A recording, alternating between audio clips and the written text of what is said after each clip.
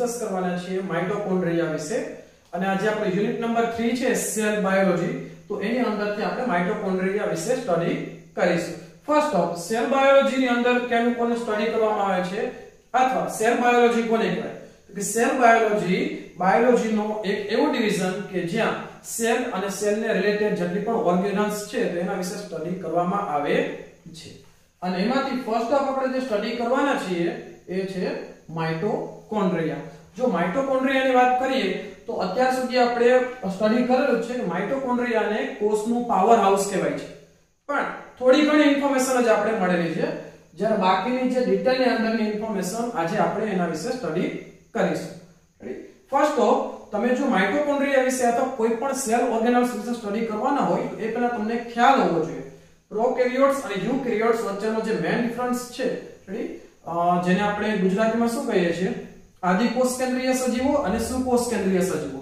બે વચ્ચેનો જે મુખ્ય તફાવત છે, તે મુખ્ય તફાવતની અંદર જ આવે છે આ ઓર્ગેનલ્સ અંગિકાઓ, કે જે પ્રોકેરિયોટ્સની અંદર ગેરહાજર છે અથવા એબ્સન્ટ છે. જ્યારે યુકેરિયોટ્સ એટલે કે સુકોષ કેન્દ્રીય સજીવોની અંદર આ પ્રેઝન્ટ છે. અને મોટાભાગની જે ઓર્ગેનલ્સ છે, તો એ મોટાભાગની ઓર્ગેનલ્સ હશે, એ બેવડી પડદાવાળી રચના હશે. રાઈટ જે પડદો હશે ને મેમ્બ્રેન એ બેવડો પડદો ફરતી બાજુ હશે. ઘણાની અંદર મતલબ કે અપવાદરૂપાની અંદર છે સિંગલ પડદાવાળી અથવા પડદા વગરની રચનાઓ. પણ આટલો ડિફરન્સ ખબર હોવી જોઈએ. તો એમાંની જે ફર્સ્ટ આપણે સ્ટડી કરવાના છે એ છે માઇટોકોન્ડ્રિયા કે જેને કોષનું પાવર હાઉસ પણ કહેવામાં આવે છે. તો જો માઇટોકોન્ડ્રિયાના ઇન્ટ્રોડક્શનની વાત કરીએ, તો માઇટોકોન્ડ્રિયાના ઇન્ટ્રોડક્શનની અંદર આપણે શરૂઆતમાં એ ઇન્ફોર્મેશન લખી શકીએ કે માઇટોકોન્ડ્રિયા છે ને ભાઈ? એ બે વર્ડ્સનું બનેલું છે. પહેલું છે માઇટો અને બીજું છે માઇટોકોન્ડ્રિયા સોરી કોન્ડ્રિયા પહેલો વર્ડ છે માઇટો અને બીજો શબ્દ છે chondria ready mito means thread ready અને કોન્ડ્રિયા મીન્સ ફિલામેન્ટિયસ શું કહેવાય? ગ્રેન્યુલ્સ ટાઈપ એક ટાઈપનું કમ્પાર્ટમેન્ટ રેડી થ્રેડ લાઈક મતલબ કે એક વચ્ચેથી પોલી રચના છે લંબગોળાકાર ટાઈપની રચના. જેને ફર્સ્ટ ટાઈમ અને ફાઇન્ડ આઉટ કરવામાં આવ્યું, ત્યારે આ નામ આપવામાં આવ્યું હતું. ગ્રીક નેમ છે.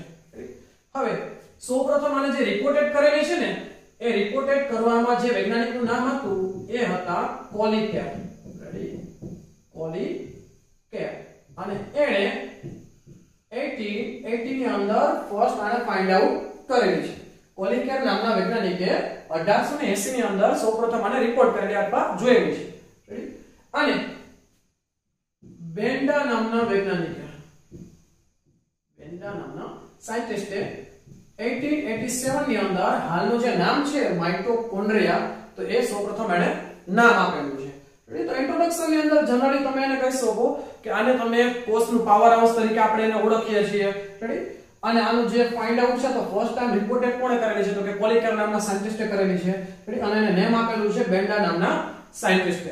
હવે વાત કરીએ એના ડિસ્ટ્રીબ્યુશનની મતલબ કે કઈ કઈ જગ્યાએ જોવા મળે જો નોર્મલ રીતના યુકેરિયોટ્સની અંદર એ મોટા ભાગના સેલ્સની અંદર જોવા મળે છે. પણ એના ફંક્શન અને કોષના કાર્યને આધારે એનું ડિસ્ટ્રીબ્યુશન થયેલું જોવા મળે છે. ઘણા કોષોની અંદર એક એકની સંખ્યામાં જોવા મળે. ઘણા કોષોની અંદર એની સંખ્યામાં વધારો પણ જોવા મળે. એટલે કોષનું જે કાર્ય છે ફંક્શન છે, તો એના આધારે એનું ડિસ્ટ્રીબ્યુશન જોવા મળે છે. હવે જો નંબરની વાત કરીએ, કે કોની અંદર આની સંખ્યા કેટલી છે તો એ નંબરની અંદર વાત કરીએ તો જે આલ્ગલ સેલ્સ છે, તો એની અંદર એક કોષની અંદર ખાલી એક જ જોવા મળે છે માઇટોકોન્ડ્રિયા અને આ સિવાય જે બીજું એક્ઝામ્પલ છે, એ છે eggs of sea urchin right eggs of sea urchin તો સી આર્ચિનની અંદરના જે એક્સ છે સોરી સી આર્ચિન ના જે એક્સ છે, એની અંદર આ 140000 થી લઈ અને 150000 ની સંખ્યામાં જોવા મળે છે. જ્યારે અમીબાની અંદરની જો વાત કરીએ તો અમીબાની અંદર આ 50000 ની સંખ્યામાં જોવા મળે છે. તો આ વાત થઈ ગઈ તે આપણે અંદાજિત પ્રમાણ આંકડાઓની અંદર ભાઈ આ દરેક કોષોની અંદર આની જે સંખ્યા હશે એ અલગ અલગ જોવા મળે છે. Different types of cells has a different numbers of mitochondria કડી એવું કેવું તો કહી શકાય. હવે જો અહીંયા એક પ્રમાણ આપેલું છે green green plant cells less than to animal cells animal cells પાસે જે માઇટોકોન્ડ્રિયાનું પ્રમાણ હશે ને, એ થોડુંક વધારે હશે. Compare to green plant cell green plant cell પાસે જે માઇટોકોન્ડ્રિયાનું પ્રમાણ હશે, એના કરતા એનિમલ સેલ્સ પાસે થોડુંક સંખ્યામાં વધારો હશે. એનું રીઝન છે. એનું રીઝન શું છે? તો કે ભાઈ, બેની અંદર વર્ક થાય જ છે. રેડી અને વર્ક થાય તો એને એટીપી ની જરૂર પડે જ છે. તો એટીપી તો પ્રોડ્યુસ થવાના જ છે ને. એટીપી ના પ્રોડક્શન માટે થઈને જ માઇટોકોન્ડ્રિયાનું મેઇન ફંક્શન છે. રેડી બટ હવે જે એનિમલ સેલ્સની વાત કરીએ ને, તો એનિમલ ને જો લોકોમોશન એટલે હલનચલન પ્રચલન અને બીજા જે કાર્યો છે ને, એ થોડા ગ્રીન પ્લાન્ટ કરતા થોડા નહીં આમ તો ઘણા બધા વધારે કહેવાય. તો એનિમલ સેલ્સ ના જે શું કહેવાય કે જે ફંક્શન હશે એ વધારે છે. તો એને એટીપી ની જરૂરિયાત પણ વધારે ઉત્પન્ન પડે compare to green plant cells આથી જ જે ફંક્શનની દ્રષ્ટિએ જોઈએ તો ગ્રીન પ્લાન્ટ સેલ્સ હશે, એની પાસે ઓછા પ્રમાણમાં માઇટોકોન્ડ્રિયા છે, જ્યારે એનિમલ સેલ્સ પાસે થોડા પ્રમાણમાં વધારે છે. એનું રીઝન એ છે, હલનચલન પ્રચલન જેવા કાર્ય વધારાના કરે છે એનિમલ્સ એનિમલ્સ તો આથી એને શક્તિની અથવા એનર્જીની વધારે જરૂરિયાત પડવાની અને એના એનર્જીને પૂર્તતા કરવા માટે તેને વધારે પ્રમાણમાં એટીપી પ્રોડ્યુસ થવા જોઈએ. અને એટીપીના વધારે પ્રોડક્શન માટે તેને શું કરવું પડે? તો કે એની પાસે માઇટોકોન્ડ્રિયાનું પ્રમાણ વધારે હોવું જરૂરી છે. હવે પછીનો જે પોઈન્ટ છે, તો એ છે સેપ સેપની વાત કરીએ, તો આ જે માઇટોકોન્ડ્રિયા હશે ને ભાઈ, એ mitochondria club shape, racket shape, vesicular, ring or round શેપની અંદર જોવા મળે છે. થોડો ઘણો ડિફરન્સ હોઈ શકે અલગ અલગ સેલ્સની અંદર રેડી ફંક્શન ના આધારે. હવે, જો એના સાઇઝની વાત કરીએ, તો નોર્મલી જે માઇટોકોન્ડ્રિયાની જે સાઇઝ છે, એ 0.54 થી લઈ અને 2 માઇક્રોમીટર સુધીની જોવા મળે છે. પણ ઘણી વખત આની લેન્થ વધારે પણ જોવા મળે અને કેટલા સુધી તો કે 7 માઇક્રોમીટર સુધીની આની લેન્થ જોવા મળે છે. તો આ થઈ ગઈ હતી બહારની દ્રષ્ટિએ અથવા એને સાઈઝ શેપ સંખ્યા ઇન્ટ્રોડક્શન એના વિશે નું હવે પછીનો જે પોઈન્ટ છે ને, એ થોડો ડિટેલની અંદર આપણે સ્ટડી કરવો પડશે. જો આ પ્રમાણે છે, તો એમણે મોઢે યાદ રહી જાય. એમણે મોઢે યાદ રહી જાય અને પ્લસમાં કે આના વિશે આપણે 12th સાયન્સ અને 10th ની અંદર અને થોડું ઘણું 9th ની અંદર આપણે સ્ટડી કરેલું. બટ હવે જો અલ્ટ્રા સ્ટ્રક્ચરની વાત કરીએ, તો માઇટોકોન્ડ્રિયા વિશે જો તમારે સ્ટ્રક્ચર ડ્રો કરવું હોય, તો એના સ્ટ્રક્ચરની અંદર આપણે ફર્સ્ટ ઓફ જે ડ્રો કરીશું, એ હશે આઉટર મેમ્બ્રેન શું હશે? આઉટર મેમ્બ્રેન રેડી પછી જે ડ્રો કરીશું આપણે, એ હશે ઇનર મેમ્બ્રેન રેડી શું હશે? ઇનર મેમ્બ્રેન તો ઇનર મેમ્બ્રેન અને આઉટર મેમ્બ્રેન વચ્ચે થોડો ઘણો ડિફરન્સીસ હશે. જે ઇનર મેમ્બ્રેન હશે ને, એ કેવું હશે? એ થોડું ઘણું શું હશે? ફોલ્ડેડ હશે. થોડું ઘણું એટલે આમ તો જોવો તો વધારે પડતું ફોલ્ડેડ હશે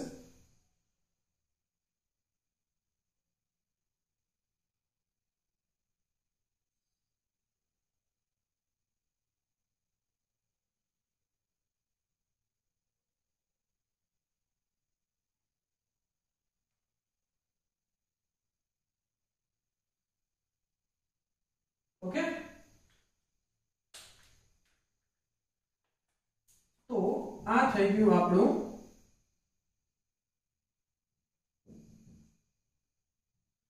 આઉટર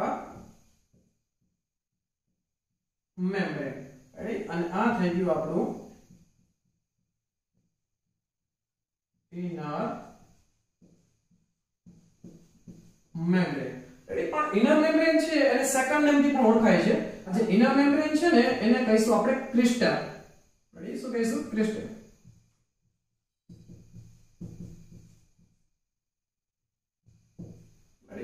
અને વચ્ચેનો જે સ્પેસ હશે રેડી સેન્ટ્રલ સ્પેસ એને કહીશું આપણે મેટ્રિક્સ રેડી તો અહીંયા આપણે જો મેનલી શું જોયું, તો કે આઉટર સરફેસીસ છે રેડી ઇનર સરફેસીસ છે, અને જે સેન્ટરમાં જે સ્પેસ ક્રિએટ થાય છે, એને કહીશું આપણે મેટ્રિક્સ હવે, આ મેટ્રિક્સ છે ને, એને આપણે બીજા વર્ડ્સની અંદર આપણે એને ઇનર કમ્પાર્ટમેન્ટ પણ કહી શકીએ. શું કહીએ? ઇનર કમ્પાર્ટમેન્ટ પણ કહી શકીએ છીએ.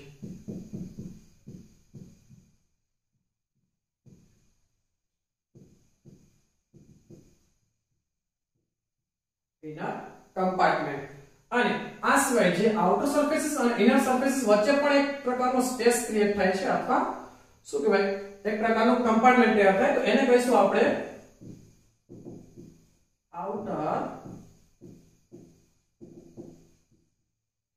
કમ્પાર્ટમેન્ટ ઓકે તો આ જે સ્ટડી થઈ ગયું છે અલ્ટ્રા સ્ટ્રક્ચરનું, કે ભાઈ શું હશે?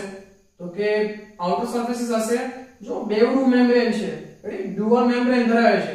એટલે બેવડી પડદાવાળી રચના છે ઓર્ગેનલ્સ એમાં આઉટર મેમ્બ્રેન છે ઇનર મેમ્બ્રેન છે, જે ફોલ્ડેડ છે રેડી અને વચ્ચે એક સ્પેસ ક્રિએટ થાય, એને કહીશું મેટ્રિક્સ ઇનર જે મેમ્બ્રેન હતું, એને આપણે ક્રિસ્પી નામે ઓળખાઈએ છીએ. અને આ સિવાય ઇનર મેમ્બ્રેન અને આઉટર મેમ્બ્રેન વચ્ચે પણ એક કમ્પાર્ટમેન્ટ પડે છે. એને કહીશું આપણે આઉટર કમ્પાર્ટમેન્ટ હવે, એમાંથી જે પહેલું સ્ટડી કરીશું ને આપણે, એ છે આઉટર મેમ્બ્રેન જે આઉટર મેમ્બ્રેન મેમ્બ્રેન છે રેડી એ કેવો હશે? એકદમ સ્મૂથ હશે. આઉટર જે સરફેસ હશે, એ સ્મૂધર હશે અને પોર્સ વાળી હશે. રેડી મતલબ કે છિદ્રો વાળી હશે. કેવી? છિદ્રો વાળી હશે. કે જેના કારણે શું થાય? પરમિએબિલિટી એ ધારણ કરી શકે. મતલબ કે અમુક જે મોલે શું કહેવાય? અમુક જે કણો છે પાર્ટિકલ્સ અથવા મોલેક્યુલ્સ તો એને આરપાર થવા દેશે. પરમિએબલ પરમિએબલ છે? રેડી વહન થવા દેશે, પારગમ્ય છે? હવે, એ 10000 ડાલ્ટન સુધીનું જે શું કહેવાય મોલેક્યુલ્સ હશે, એને આરપાર જવા દેશે ટ્રાન્સપોર્ટ થવા દેશે. હવે જો વાત કરીએ, ઇનર મેમ્બ્રેનની જે બ્લુઇસ લાઇનથી દોરેલું છે, ઇનર મેમ્બ્રેનને આપણે સેકન્ડ ક્રિસ્ટીના નામે ઓળખીએ છીએ. રેડી જે સ્મૂથ હશે રેડી જો આઉટર મેમ્બ્રેન સાથેની કમ્પેરિઝન કરો આઉટર મેમ્બ્રેન સ્મૂધ હતું. જ્યારે ઇનર મેમ્બ્રેન સ્મૂથ હશે નહીં. રેડી અને ઇમ્પર્મિએબલ હશે. મતલબ કે વહન થવા દેશે નહીં ટ્રાન્સપોર્ટ થવા દેશે નહીં. રેડી આ સિવાય ફોલ્ડેડ હશે. કેવું હશે? ફોલ્ડેડ હશે.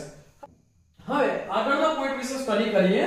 Outer compartment right outer compartment કયું કહેવાય, તો કે ભાઈ આઉટર મેમ્બ્રેન અને ઇનર મેમ્બ્રેન વચ્ચેનો જે ભાગ હશે ને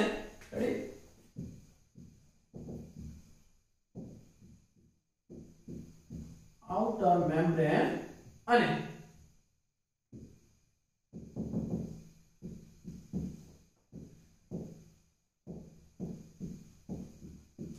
ઇનર મેમ્બ્રેન વચ્ચેનો જે સ્પેસ હશે ને એને કહેવાય આઉટર કમ્પાર્ટમેન્ટ અને એનું જે સેકન્ડ નેમ છે ને, એ પણ ખાસ ધ્યાન રાખજો. એનું સેકન્ડ નેમ છે peri mito peri mitochondrial space એનું સેકન્ડ નેમ છે પેરી માઇટોકોન્ડ્રિયલ સ્પેસ હવે, એના પછીનું જે અંદરનું જે કમ્પાર્ટમેન્ટ છે ઇનર કમ્પાર્ટમેન્ટ એને કહીશું આપણે મેટ્રિક્સ. રેડી ક્યાં નામે ઓળખતા આપણે એને? મેટ્રિક્સ ના નામે ઓળખતા હતા. હવે એની અંદર જો C ફેસ, M ફેસ અને F1 પાર્ટિકલ્સ હવે કઈ રીતના હોય તમને કહું છું? તમે જે ઇનર જે મેમ્બ્રેન છે ને ઇનર મેમ્બ્રેન ઇનર મેમ્બ્રેન નો જો આ ભાગ, બહારની તરફ ઇનર મેમ્બ્રેન નો આઉટર ભાગ જુઓ. રેડી તો એ તો સી સી શેપમાં બને છે. આ ખાલી જે ભાગ છે ને, એ કેવા શેપમાં બને છે સી આકાર. એને જ કીધું સી ફેસ. રેડી કે જે મેં શું કહેવાય? પેરી માઇટોકોન્ડ્રિયલ સ્પેસ ના કોન્ટેક્ટમાં હશે. હવે બીજો કયો કીધો? તો કે એમ ફેસ કીધો. તો એમ ફેસની વાત કરીએ ને, તો જો આ ફેસ ઇનર મેમ્બ્રેન ને અંદરની સાઈડ નો ફેસ. જો આ એમ શેપ બને છે તો આને કીધું એમ ફેસ. હવે જે એમ ફેસ હશે ને, ત્યાં હાજર જોવા મળશે F1 પાર્ટિકલ્સ શું જોવા મળશે? F1 પાર્ટિકલ્સ જેની પાસે અમુક એન્ઝાઇમ્સ પ્રેઝન્ટ હશે અથવા એન્ઝાઇમ્સ હશે. કે જેનું વર્ક શું હશે? એટીપી સિન્થેસિસનું. રેડી આ જગ્યાએ ઇનર મેમ્બ્રેન નો જે એમ ફેસ છે, તો ત્યાં F1 પાર્ટિકલ્સ પ્રેઝન્ટ હશે. રેડી તો આને શું કીધો? C face M face ready અને આની અંદર હશે F1 પાર્ટિકલ્સ કે જ્યાં શું વર્ક થાય, તો કે ત્યાં થતું હશે એટીપી સિન્થેસિસનું ફંક્શન થતું હશે. તો અહીંયા સુધી આપણે એના overall chemical compose sorry overall આપણે એના અલ્ટ્રા સ્ટ્રક્ચર વિશેની વાત કરી. હતી હવે જે આપણે સ્ટડી કરીશું, એ કેમિકલ કમ્પોઝિશનની વાત કરીશું. તો ખાસ કરીને જો આના જે મેમ્બ્રેન છે, એ લિપોપ્રોટીન ના બનેલા હશે. એટલે એક પ્રકારની લિપોપ્રોટીનની ફ્રેમ ધરાવે છે. એમ કેવું તો કહી શકાય. આ સિવાય જો એના કેમિકલ કમ્પોઝિશનની વાત કરીએ, તો એની અંદર 60 થી 70% જેટલું પ્રોટીન પ્રેઝન્ટ હશે 25 થી લઈને 30% જેટલું લિપિડ પ્રેઝન્ટ હશે 0.5% જેટલું આરએનએ પ્રેઝન્ટ હશે. અને આ સિવાય જો ને લિક્વિડ ફેઝની વાત કરીએ, તો લિક્વિડની અંદર જો કેટલાક મટીરીયલ્સ શું કહે સોલ્યુબલ હશે, એને એ ક્યાં ક્યાં હશે? તો કે 90% જેટલું ફોસ્ફોલિપિડ હશે 5% જેટલું કોલેસ્ટેરોલ હશે અને આશરે 5% જેટલું ફ્રી ફેટી એસિડ અને ટ્રાઇગ્લિસરાઇડ પ્રેઝન્ટ હશે. હવે, જો આના ફંક્શનની વાત કરીએ, તો આનું જે ફંક્શન હશે રેડી માઇટોકોન્ડ્રિયાનું એ ફંક્શન હશે કયા કયા? તો કે એક તો ડિહાઇડ્રોજેનેશનની અંદર શું કહેવાય? પાર્ટિસિપેશન કરતો હશે. આશરે ઓક્સિડેટિવ ફોસ્ફોરાઇલેશનની અંદર મહત્વનો ભાગ ભજવતો હશે. આશરે રેસ્પિરેટરી જે ચેન છે, એની અંદર મહત્વનો ભાગ ભજવે છે. હવે આશરે જ્યારે પણ આપણે ગ્લુકોઝનો મોલેક્યુલ ને બ્રેકડાઉન કરીએ રેડી તો એ બ્રેકડાઉન થાય ત્યારે એના જે બોન્ડ તૂટશે ને તેની અંદરથી એનર્જી રિલીઝ થશે. રેડી હવે જે એનર્જી છે અને આ સિવાય જો એની સાથે જો CO2 ખાસ કરીને આપણે જે શું કહેવાય કે ગ્લુકોઝનો મોલેક્યુલ તોડશું તો CO2 અને H2O ની અંદર કન્વર્ટ થશે. અને આ સાથે કેટલાક લાર્જર અમાઉન્ટની અંદર એનર્જી પ્રોડ્યુસ થશે. તો આ જે એનર્જી હશે ને એનો યુઝ કરશે કે ની અંદર એટીપી એટીપી ને બનાવવા અથવા એટીપી ની અંદર સ્ટોરેજ કરશે. અને એ જ એટીપી નો યુઝ કરશે સેલના જે ફંક્શન્સ છે એના માટે. હવે, આ જે માઇટોકોન્ડ્રિયા છે એ એનર્જી પ્રોવાઇડ કરે છે. એના માટે થઈને એને કેટલાક સેકન્ડ ને માપેલા છે. પાવર હાઉસ છે, આ સિવાય એટીપી મિનિટ્સ છે. આ સિવાય સ્ટોરેજ બેટરી છે એવા કેટલાક ફંક્શન સોરી એના ફંક્શન આધારે કેટલાક નામ આપેલા છે. હવે આ સિવાયના બીજા કેટલાક ફંક્શન્સ છે. ખાસ કરીને જે કેલ્શિયમ આયન છે એના કોન્સન્ટ્રેશન નો વર્ક પણ કરે છે. શું કહેવાય? કોન્સન્ટ્રેશન નો કોન્સન્ટ્રેશન કરવું અથવા કોન્સન્ટ્રેશન ઘટાડવું, તો એ ટાઈપનો ફંક્શનમાં પણ મહત્વનો ભાગ ભજવે છે માઇટોકોન્ડ્રિયા આ સિવાય જો માઇટોકોન્ડ્રિયાની અંદર બીજી કેટલીક વાત કરું ને, તો માઇટોકોન્ડ્રિયાની અંદર રાઇબોસોમ્સ પણ પ્રેઝન્ટ હશે અને આ સિવાય જે ઇનહેરિટન્સ માટેનો જે ડીએનએ ની ચેન હશે ને, તો એ પણ પ્રેઝન્ટ હશે. તો આ બધી વસ્તુઓ થઈ ગઈ આપણે ઓવરઓલ માઇટોકોન્ડ્રિયાના સ્ટડી વિશે. Thank you